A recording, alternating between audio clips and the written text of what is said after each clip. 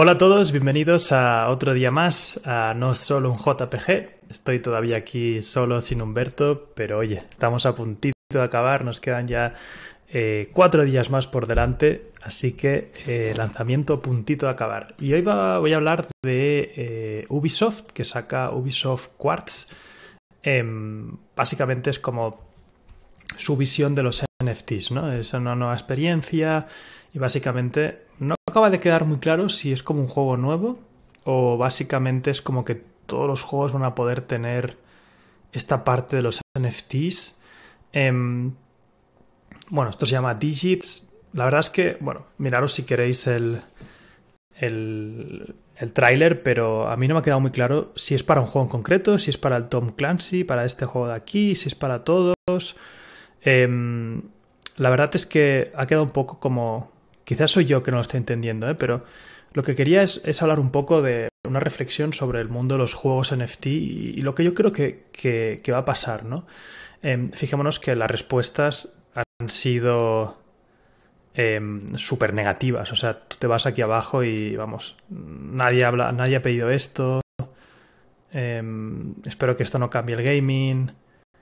Eh, bueno, que la gente no, no está muy abierta, ¿no? Y yo realmente creo que, eh, igual que por ejemplo Facebook, cuando intentó sacar su criptomoneda, la gente se le tiró encima, incluso llegó el Estado a, prohibírselo, en plan, no, tú no puedes, por, por toda la mala reputación que tenía. Em, hay muchas empresas de videojuegos, como por ejemplo Ubisoft o Electronic Arts, que las hemos ya tocado en el canal. Em, que no creo que sean las mejores para introducirse en este ecosistema porque creo que lo pueden llegar hasta empeorar, entre comillas. Lo van a hacer igual, ¿no? Porque estas empresas no, no son conocidas por, por sus prácticas súper amigables con los gamers y, teniendo en mente siempre a los gamers, sino que siempre bueno, intentan extraer más de lo que realmente dan, ¿no? Y, en el caso de Emprende Aprendiendo, por ejemplo, hablamos de Electronic Arts y vemos cómo, cómo hacen políticas a veces que, que son nefastas. Y lo que va a pasar es que estas empresas, cuando oyen NFTs, quieren entrar sí o sí, porque están viendo cómo están haciendo colecciones, vendiéndose por millones de euros, etc. Pero yo creo que también importa mucho el cómo entras al, mundo de los NFTs. Em, y hasta ahora yo estoy de acuerdo en que el mundo de los juegos NFTs parece que es súper aburrido. O sea, es hacer cuatro clics, cuatro cosas y no es algo súper interesante, ¿no? Pero yo estoy, yo, estoy convencido de que los juegos NFTs están para quedarse, pero yo creo que van a tener una mezcla muy chula entre el ecosistema actual y el futuro ecosistema NFTs. Es decir, cuando decimos que los NFTs son el futuro del gaming, no quiere decir que van a sustituir a los, a los videojuegos tradicionales. Em, eh, siempre va a haber gente que va a querer pagar por un juego y jugarlo. Em, el modelo freemium o el modelo free to play no desplazaron el modelo de comprar un juego y jugarlo. Al revés, eh, salió toda una oleada de creadores indie que, siguen bueno, con, ese modelo de negocio a tope. Eh, pero los juegos NFTs al final van a ser como un add-on y yo de verdad creo que, que, no va a venir de un Ubisoft o no va a venir de un Electronic Arts esta revolución. Yo creo que vamos a ver cosas muy chulas que vienen en paralelo por empresas nuevas que entienden muy bien el ecosistema eh, NFT, que no tienen toda esa mochila detrás, por así decirlo, de, estas empresas que van a causar mucho rechazo, o sea, ya lo estamos viendo, y que van a atraer a una base de jugadores que realmente quieren participar en esos ecosistemas, ¿no? Y eso es libre mercado y eso da igual los vídeos que haga la gente en contra de los juegos NFT, siempre si hay un libre mercado que quiere eh, jugar con ellos y, trastear con ellos y estar ahí con ellos, eh, lo habrá, ¿no? Y, yo creo que eh, es un mundo libre, ¿no? Y el que quiera jugar a juegos no NFT podrá hacerlo. El que quiera comprar un juego y jugarlo podrá hacerlo. El que quiera jugar un free to play podrá hacerlo. El que quiera comprar una skin a Fortnite, a una empresa centralizada, lo podrá hacer y estará la oferta para poder hacerlo. Y habrá demanda.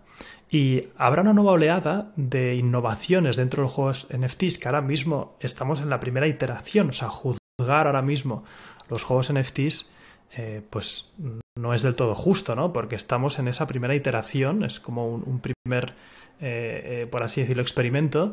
Pero yo creo que van a salir cosas muy chulas, ¿no? Por ejemplo, el tema de Loot for Adventurers, que es una colección eh, súper chula, bueno, súper chula, innovadora, ¿no?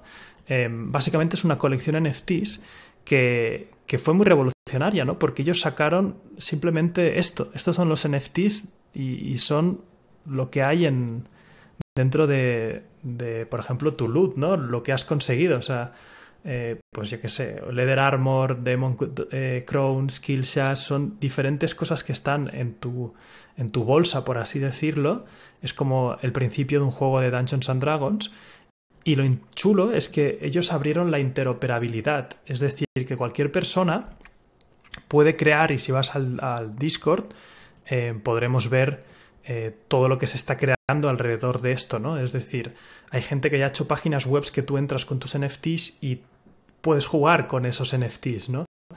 Eh, yo creo que aquí, de aquí viene la innovación de los juegos Es de abajo arriba, no de arriba abajo como hasta ahora hemos estado viendo, ¿no? Yo creo que son las comunidades donde van a trastear, experimentar, sin ser juzgadas por el exterior, eh, sin, atraer, sin atraer esa atención y poco a poco irán innovando hasta que algo sea súper entretenido, sea súper chulo y a lo mejor, bueno, lo más probable es que coexista 100% con todo el otro ecosistema, eh, 100%, pero se irán viendo eh, innovaciones y experimentos muy chulos como este de Loot, ¿no? Pero bueno, quería traer simplemente esta noticia y dar mi reflexión acerca de lo que creo que va a pasar. Y nada más, ya sabéis que nosotros seguimos de lanzamiento con no solo JPG, 512 owners.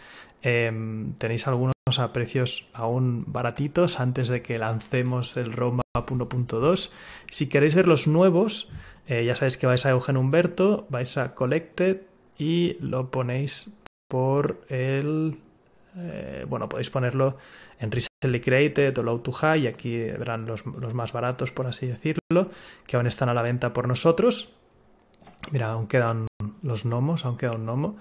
Y, y nada, espero que vaya muy bien y nos vemos en el siguiente. Que vaya genial. Chao.